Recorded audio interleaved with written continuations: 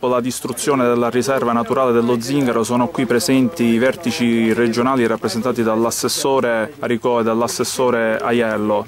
Un disastro naturale che non riguarda soltanto il patrimonio eh, della vegetazione faunistico ma è anche un danno economico per il turismo.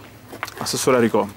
Assolutamente sì, purtroppo siamo, abbiamo assistito in queste, in queste ore a questo disastro ecologico, ma non è soltanto un disastro ambientale, come dicevamo prima è anche un disastro che potrebbe essere di natura economica per il turismo.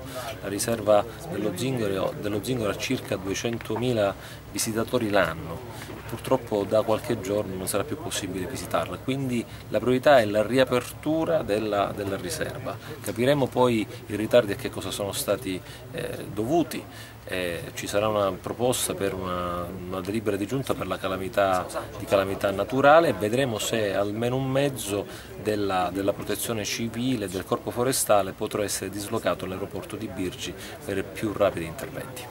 Perché questi ritardi? Perché mancano mezzi? Perché ci sono negligenze? Chi sono i responsabili di questa situazione così grave? Ma I mezzi sono quelli purtroppo che abbiamo, per ora stiamo assistendo in lungo e largo nella Sicilia incendi, soltanto ieri in provincia di, Messina 90, 90 roghi, eh, c'è l'emergenza ambientale di, della discarica di Bellolampo che è stata, il fuoco è stato spento soltanto qualche ore fa, una serie di inconvenienti che hanno fatto sì che ci sia stato un ritardo ma non è dovuto sicuramente a responsabilità ma a delle priorità.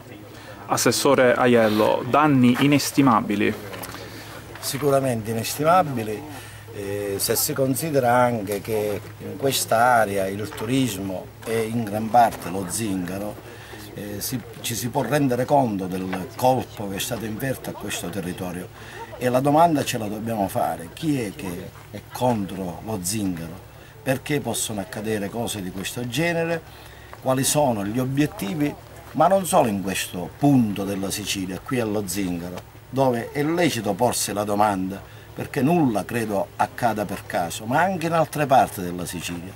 C'è emergenza, c'è il caldo, ci sono le difficoltà, ma gli incendi da soli non nascono, gli incendi vengono provocati e in quest'area sicuramente sono addormentate, sopite appetiti, appetiti antichi, nuovi, moderni, di vecchia, di nuova fattura, che sono in moto per colpire, per dare dei segnali qualcuno ha parlato anche di una strategia, di una strategia, di una regia che può essere presente qui allo Zingaro, può essere presente in altre parti dell'isola. Detto questo, esiste un problema anche di coordinare al meglio le risorse che sono in campo, a partire eh, non, non, solo dalle nostre strutture, di cui io personalmente sono eh, assessore, sono venuto qui anche a fare l'encomio, l'elogio degli operai che unici si sono eh, impegnati per, assieme alle, alle altre squadre per spegnere l'incendio.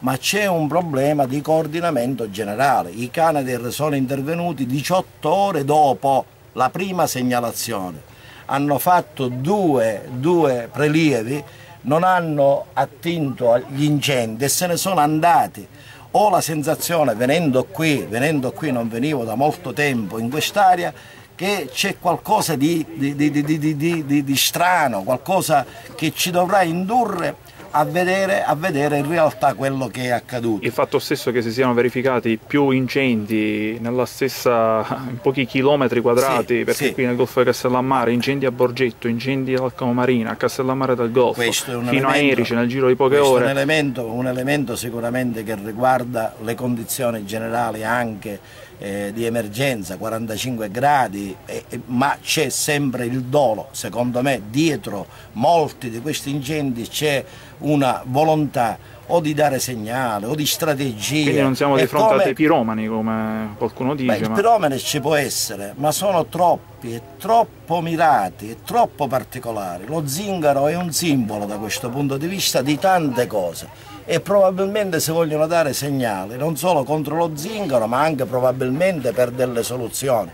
Tra l'altro stiamo proponendo un protocollo che abbiamo già sottoscritto a Siracusa col Ministero degli Interni, le prefetture, con le ripartizioni faunistico-venatorie, con le province, direi con le altre branche dell'amministrazione per mettere a protocollo l'esercizio di guardie volontarie che possono essere immesse nei territori rapidamente senza costi elevati, centinaia e centinaia di persone che possono essere portate, spinte sui territori senza costi attingendo al volontariato che è una grande risorsa che ci può aiutare in questo momento per essere presente nei territori. Questa partita non la possiamo perdere, è una partita importante non solo dal punto di vista ambientale ma anche dal punto di vista politico, dal punto di vista sociale, la Sicilia va difesa e va difesa anche soprattutto dalla, dalle associazioni di volontariato riunite in protocollo attorno alle istituzioni.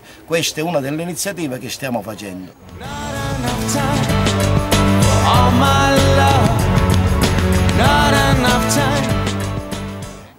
È una situazione questa eh, generalizzata, ma eh, qui siamo in un angolo naturalistico molto importante e lei si sta rendendo conto effettivamente di come eh, la situazione sia degenerata. Ma guardi, questo è un simbolo anche perché è la prima riserva istituita in Sicilia, è la prima istituita in Sicilia, è la prima che è stata data in gestione alla nostra azienda foreste demaniali. Noi la tenevamo come un gioiellino, evidentemente a qualcuno tutto questo non è piaciuto e hanno cercato di devastarla. Siamo riusciti a salvare il salvabile con i pochi mezzi che avevamo a disposizione. L'assessore prima ha rimarcato questo problema forse se si interveniva in tempo da parte di quelli che erano gli interventi eh, attraverso i Canadair, il pericolo lo potevamo scongiurare in massima parte. Con i pochi uomini che avevamo a disposizione, sia i nostri, eh, che pur se non preposti all'intervento di antincendio, insieme alle squadre che sono arrivate eh, da parte del comando forestale, si è riusciti a salvare per l'appunto il salvabile. Noi contiamo comunque in poco tempo di rimettere in sesto la riserva, anche per dare un segnale preciso preciso a chi ha voluto determinare questo scempio che noi siamo nelle condizioni di risollevarci e risollevarci rapidamente.